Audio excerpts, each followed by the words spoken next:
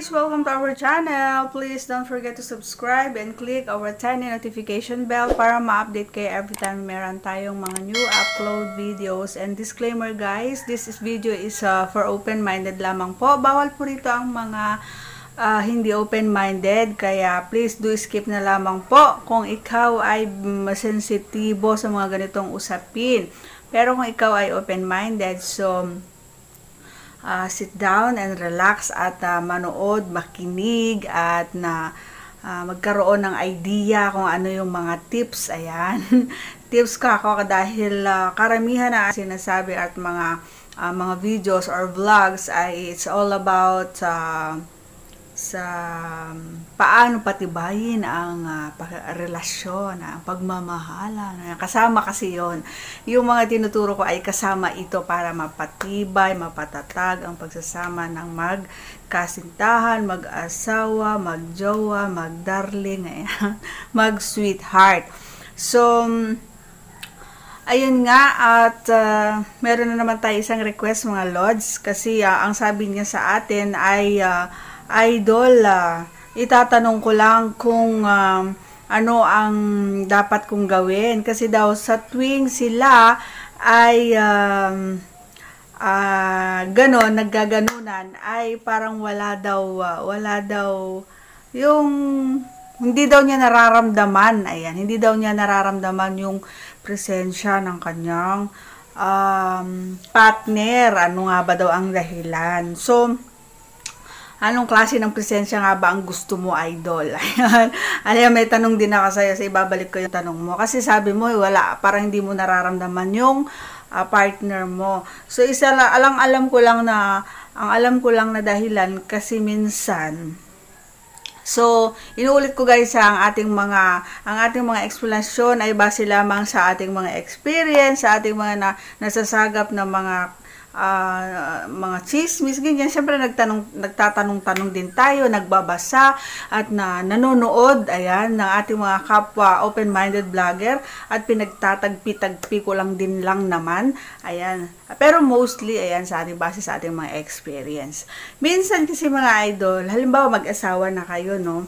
Hindi naman porket mag-asawa na kayo, eh, kung ano yung, kung ano yung kung ano yung nakasanayan mo na laging yung ginagawa, eh, laging ganun. Di ba nakakasawa pag ganun lagi? So, lalong-lalo na kung ikaw ay mahilig araw-araw, minuminuto, umaga, tanghali, gabi, ay gusto mong tumusok, aba naman, maawa ka naman kay Inday, ayun. So, kailangan mo bigyan ng time at uh, syempre kailangan na sa mood, ayan. Importante kasi yon kailangan na sa mood kayo parehas. Hindi yung ikaw lang yung nasa mood kasi minsan um, talagang talagang wala kang wala walang reaction ang kapareha mo kung uh, kung siya wala sa mood.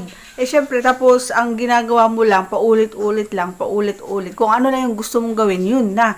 Yung alam mo yung uh, hindi mo na nga nafe-feel, ayan, yung presensya niya, hindi mo na nga nafe-feel, pero paulit-ulit ka pa rin ang ginagawa. So, ano nga, ano, uh, alamin mo kung ano-ano nga ba yung mga dati mong ginagawa na nag enjoy siya, na nag nagugustuhan niya, na naliligayahan siya, na napapatirik mo ang kanyang mata, na uh, napapahigpit ang akap niya sa'yo, or napapakanta siya, yung mga ganon. Isipin mo at alamin mo ulit uh, uh, na uh, kung ano, ayan, kung ano yung mga dati yung ginagawa na yung presensya na eh talaga naman, uh, 'di ba? Panalong panalo. Uh, hindi mo na kailangang hindi mo na kailangang uh, maghirap pa kasi minsan kapag wala sa mood ang isang uh, isang yung kapareha mo, eh syempre ikaw lang yung nag-e-effort ikaw lang yung gumagawa ng effort. Pero kapag parehas kayo na nasa nasa mood, ayan, nasa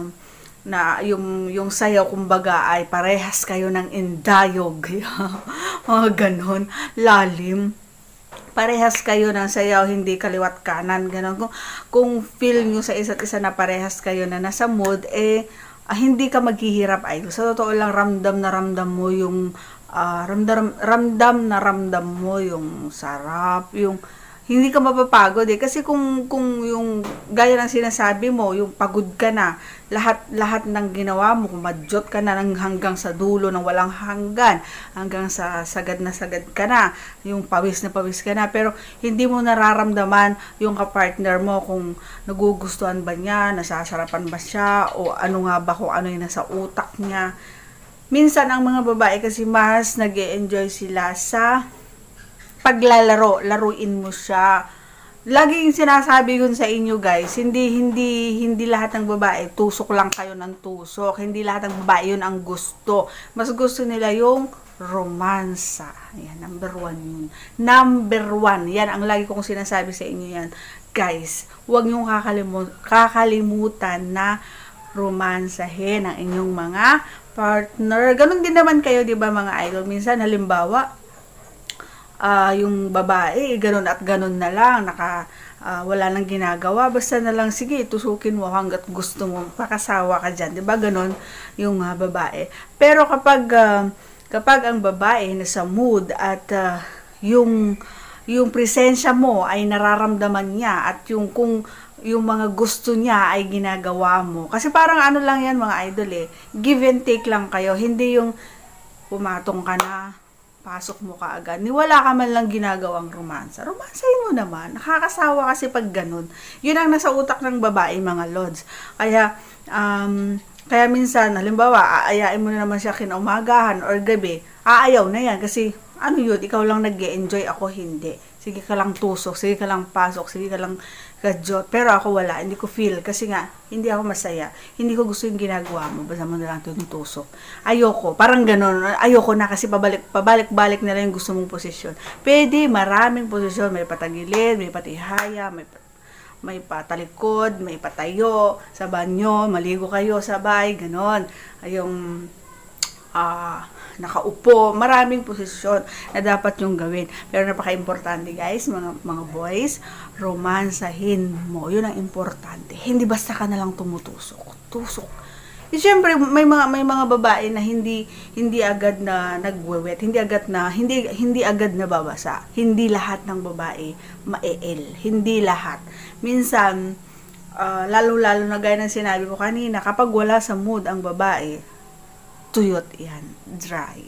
Dry na dry yan. Kaya kapag pinasok mo, mahirap. Tsaka masasaktan siya, minsan masusugatan pa. Kasi nga, dry siya, masikip, hmm, di ba? Mahirap ipasok. So, kailangan, romansahin mo.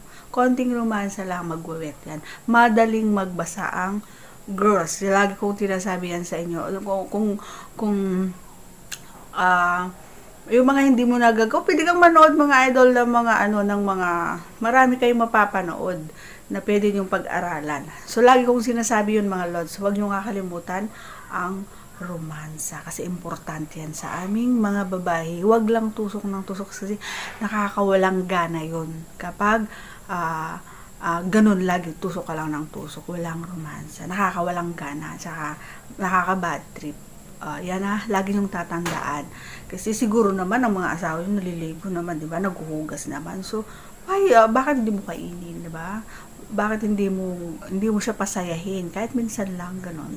'Di ba? May mga ganung may mga ganung pagkakataon talaga mga pare ko ay na kailangan pasayahin mo naman siya, hindi ikaw lang yung masaya. So, importante 'yun. Number one, itatak sa isip, romansahin mo siya para parehas kayong masaya, hindi lang yung ikaw. Okay, yung, yung mararamdaman mo na siya ay, uh, yung gumagano, yung mararamdaman mo na siya ay, yung gumagano, yung mararamdaman mo na siya ay, magsasabi na, pasok mo na, ang tagal, malapit na ako.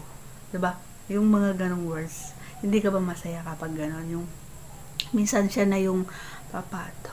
Minsan siya na yung gagawa ng ano, hindi ka na, hindi ka na mapapagod, hindi ka na gagawin, kundi siya na, o, maghihintay ka na lang. O, di ba? Pagtapos niya, o, di ikaw naman, kung gusto mo pang dumalawa, tumatlo, umapat, lima, walang problema yung, ang mahalaga, nag-enjoy na siya. Sumaya na si babae. Ganun. Kasi ang babae, kapag napagbigyan yan, lahat ng gusto niya, na yung ginawa mo ay lahat na gustuhan niya, nag-enjoy siya, kahit sampuhin mo pa sa isang gabian, walang problema.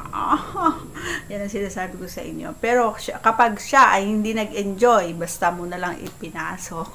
hindi siya na, hindi ka na makakadalawa, hindi ka na makakaisa. Tutulugan ka na niya kasi wala kang kwenta.